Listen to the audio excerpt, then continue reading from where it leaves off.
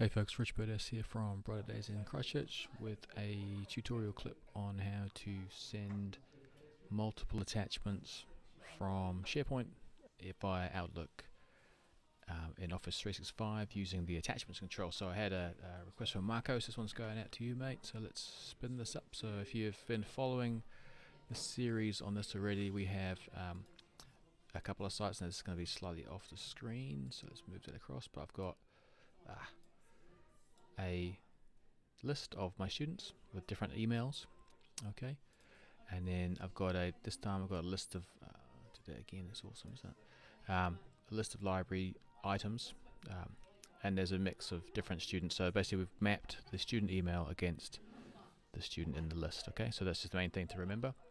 Um, so there's multiple attachments or only a single attachment for that Bright Days one but that's going to come through so I'll show you how that works. Alright, let's jump into the flow. So I want to do, uh, this one's just an instant flow. I'm going to run it on a manual trigger. Um,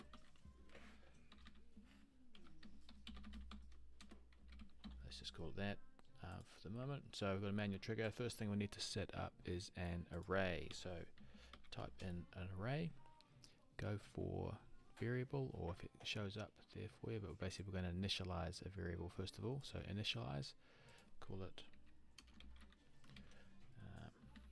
you can call it what you like. Just make sure you change from boolean to array. You don't need a value in there to start off with. Okay next thing we're going to do is get our items from SharePoint. And so this is the list the main SharePoint list from the site that I've got set up. And this is all in my technology demo site and it's just a list called my students. Um, don't need to worry about any of the filters there so that's fine. We'll leave that Okay, then I'm going to do another action. It's going to be get files. This is where we're going to jump into the other list, or the library. Um, but when we do it, we're going to find um, that Power Automate will put us into a apply to each um, loop anyway, right? So let's go into the technology site, uh, into the document library, and then I'm going to expand the advanced, so show hide, show advanced options. And what I'm going to do here is just type in my query in OData. So slightly different syntax to regular SharePoint, but student email. Move my mouse out of the way. And then EQ for equals. And then put a little inverted speech mark in there. And it's get items from the previous step. And I just want um, title. And so my column in SharePoint is called student email and I'm going to get the title. So what I always find here is it kind of closes out and you end up missing off the final inverted comma off the top there so I'll quickly save that. Okay, so with that step complete we can move on to the next action and then basically what we're going to do is another apply to each inside this step. So click add action and this one is get file content.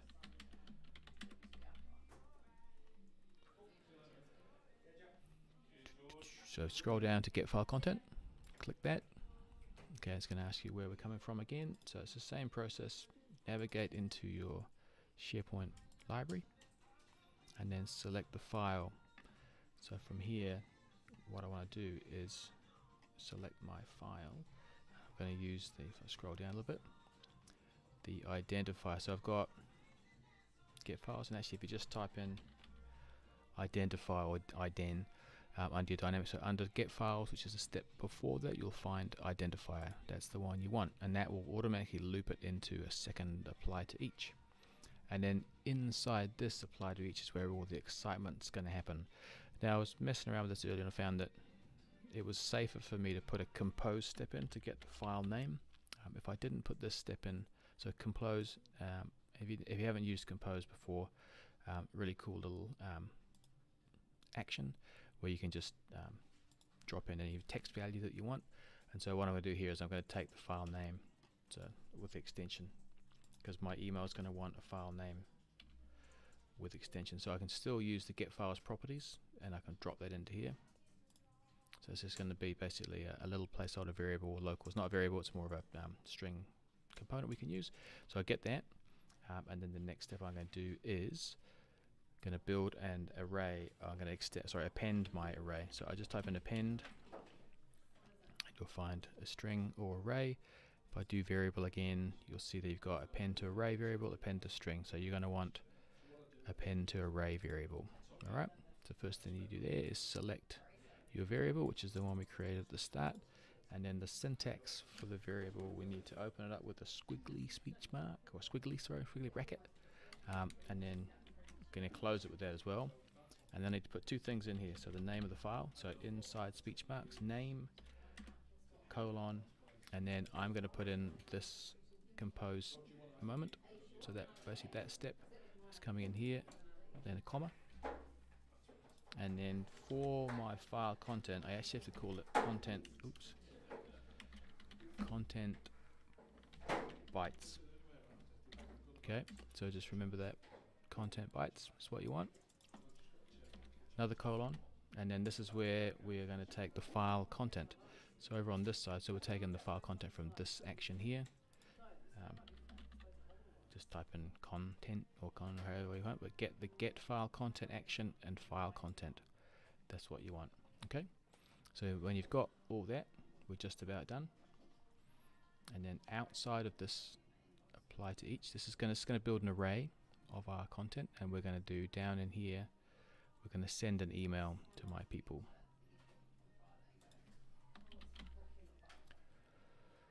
so this email select send an email um, and so I'm going to send this to the student um, so I'm going to add dynamic content so the two um, and that's for the title oops spell title right. So for my get items title is the name where my email address, uh, address is held. That could be something else. We'll just match it to whatever you want. Um, here be attachments. If I could spell that. Um, okay, and so to attach your files, you want to extend the show advanced options. Excuse me. And when you do that, you're going to get this regular kind of, you know, select your attachments. Um, but if you don't know how many attachments you're going to have, or it could be variable, you want to use this little guy on the right here. So switch to input entire array. Click that, and then you get a single box uh, for your field. One second. And so when you've got that selected, you can click inside it, and then because you've already created an, a variable with which is an array, just select the um, attachment for that.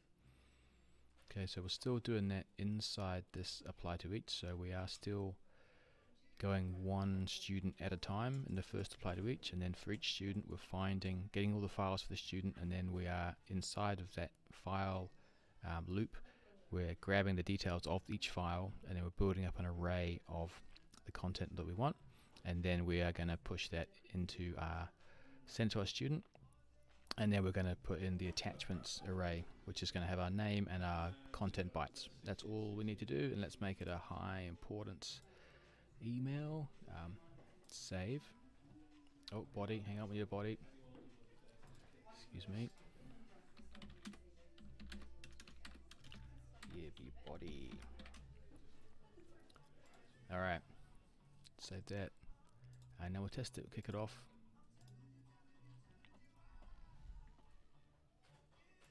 Sometimes it'll take a second to kick itself up. And there we go. Continue, run flow.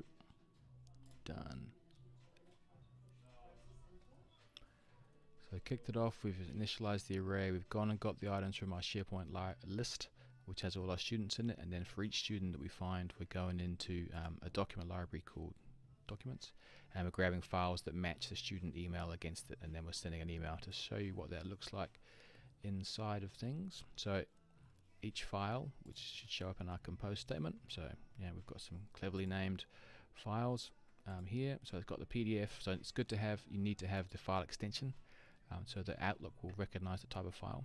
And then for each of these guys, putting them into um, the attachment control, so we can see the the content types got a, um, a PDF. And if I go back to um, one that's not a PDF, like a Word doc, so we can see that's a docx, and we've got the OpenXML format coming in for an Office document, and then this is all the content, um, you know, the, the, the encoded um, version of what the file content actually is, and then the email was sent. And if I open up my email over here and drag one over, there we go. Oh, that's a bit big, isn't it? Um, there we go. So that email has just come through um, with my attachments in. So I, I, could have multiple attachments or not too many, um, but it's going to work out what content needs to be in the email and send that through. So Marco, I hope that has helped. Know it was pretty quick, um, but just pause it, watch it, pause it, um, do what you need to do, and hopefully that will help you get through your um, being able to send multiple attachments to each of your students in your environment. Good luck, mate. Bye.